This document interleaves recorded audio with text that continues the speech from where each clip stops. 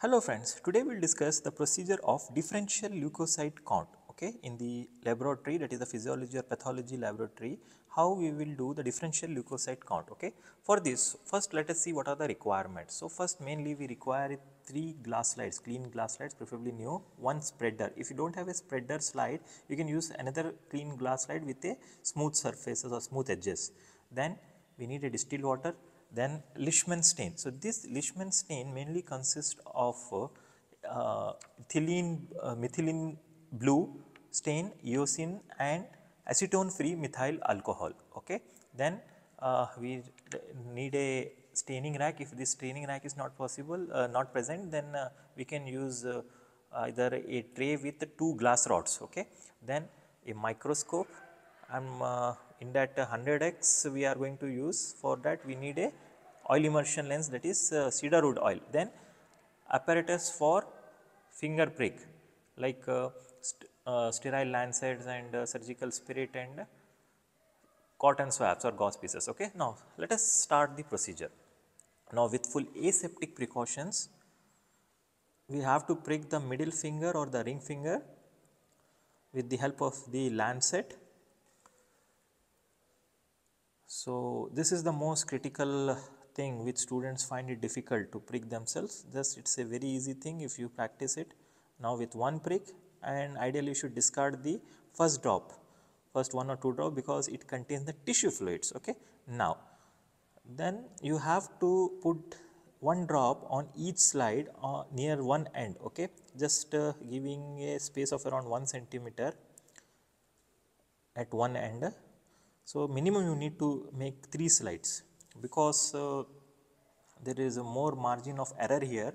So, at least you should have 3 or at the most 2 not less than 2 okay? Because it is a manual procedure and uh, it may be now how to make a smear? With the one more spreader slide just keep that at an angle of 25 to 30 degree and just in front of that drop and take it back. Now you can see it has spread it. It has spread you have to see the other edge. Now you can see the second slide. How you have to keep it 25 30 degree then bring it back and with the one stroke you have to make a smear. Okay? See 25 to 30 degree just take it back. Then the you have to make the smear with one stroke. This is how you need to make a good smear. Now it should cover nearly 3 fourths to half 3 4 to half of the uh, smear and allow it to dry for around 30 second at least okay allow it to dry and an ideal smear should be tongue shaped and uh, there should be no gaps in between that. So, this first slide is not a good ideal smear however, that is why we are making two or three slides okay. This is the second slide that is the middle slide is bit ideal okay. So, this is how you need to make a slides. Now, after making the slides we have to stain and fix the slide. So, the next procedure will be staining and fixing of the smear. Now, we will use uh, this three slides and we will fix it. So, but before that you need to if the smear is not dried completely then you have to dry it by just uh, shaking this okay so that uh, if it is not dry especially in the winter season the moisture and all will affect the visibility of these cells that is the fixation and staining will not be proper. Okay. So, now what is the method for fixing and staining of the smear we will see once the uh, slides are completely dry. Okay. You should make sure that the slides has been fully dried. Now, for staining we require this two important thing Leishman stain and the distilled water. As I already mentioned this Leishman stain is a mixture of methylene blue and eosin in acetone free methyl alcohol. So, what does this methylene blue do? It stains the acidic part of the basic dye cell that is the nuclei which contains the DNA and cytoplasm that is RNA of WBCs and granules of basophils.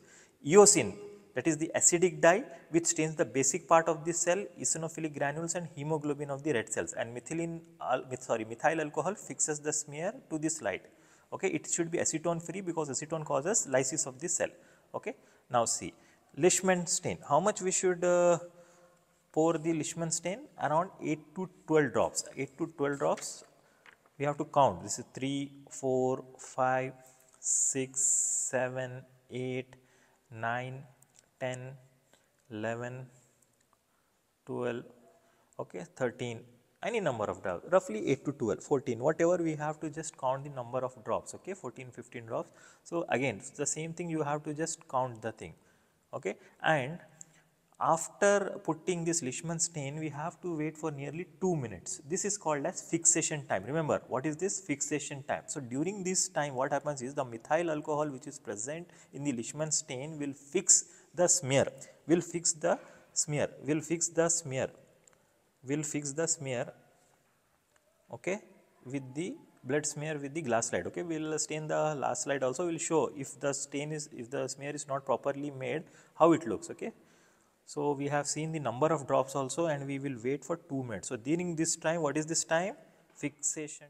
So during this fixation time what happen? Again once again the methyl alcohol will fix the blood film to the glass slide okay? If this we do not give adequate time of 2 minutes what will happen is the it will wash away during the procedure we need to wash the excess slide also we will show that procedure also but right now remember we have to give adequate time and this is the fixing time. Now after waiting for another 1 to sorry total of 1 to 2 minutes now it is almost 1 to 2 minutes. So we will pour distilled water. How much we should pour? Double the number of drops of the Leishman stain. Suppose if we have put the 12 drops then 24. If 13 drops then 26. We have put around 14 to 15 drops. So, we will put around 28 to 30 drops of almost double the number of. So, when you pour this you can see there is a formation of greenish scum. Okay? Formation of a metallic shiny layer that is known as greenish scum okay as if the as if the oil is mixed with the with the water.